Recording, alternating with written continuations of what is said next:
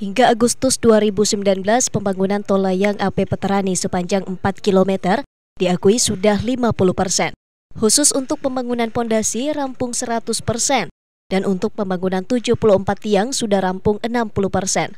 Pelkep atau dudukan tanjakan jembatan rampung 70 persen. Sehingga untuk substruktur pembangunan dipastikan rampung pada akhir Oktober 2019.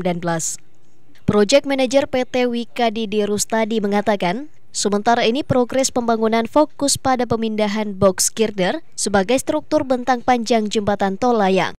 Kemudian pembangunan tiang yang belum rampung dan pembangunan pelkep atau dudukan tanjakan jembatan dari arah tol.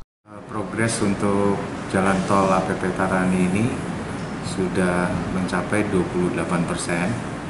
Saat ini eh, pelaksanaan pekerjaan sedang fokus mengerjakan pekerjaan erection box girder atau pengangkatan box girder di area existing tol.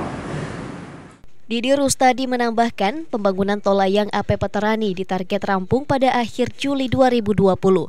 Target tersebut sedikit melambat dari target penyelesaian sebelumnya, karena menurut PT Wika, pembangunan yang berada di tengah kota membuat proses penggalian untuk pondasi cukup lama karena harus memindahkan kabel tanam, pipa PDAM, serta adanya rekayasa lalu lintas.